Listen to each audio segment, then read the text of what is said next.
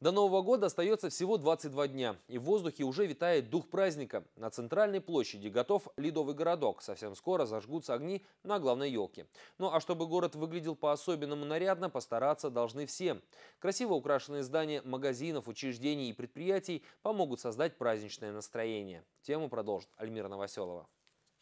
Снежинки, мишура и гирлянды создают новогоднее настроение. Когда заходишь в магазин с таким оформлением, где обслуживают продавцы в красных колпаках, хочется улыбнуться.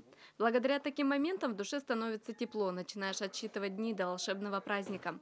Лариса Амельченко еще в конце ноября решила украсить свой магазин, чтобы порадовать горожан. Серые будни, холодно, постоянно темно, и поэтому захотелось немножко праздника. Нужно немножко помечтать, э, немножко приложить каких-то усилий своих, э, желания, самое главное, наверное, а все остальное приложится, только надо этого очень сильно хотеть. И вы делаете это не для себя, не только для себя, а для всех горожан, которые просто вот проходят мимо, улыбаются, и уже у всех хорошее настроение, которое передается всем без исключения. Праздничное оформление – это полет фантазии. Здесь каждый может проявить себя. В такой магазин хочется зайти, ведь яркие гирлянды приковывают внимание.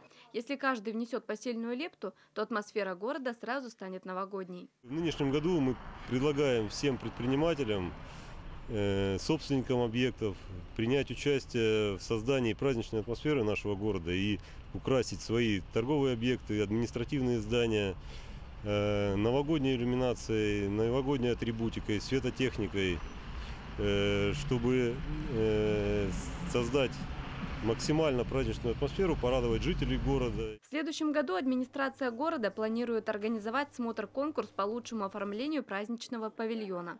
Поэтому уже сейчас можно попробовать проявить свои творческие способности на радость лабытнанцам. Альмира Новоселова, Дмитрий Сверид, программа «Время местное».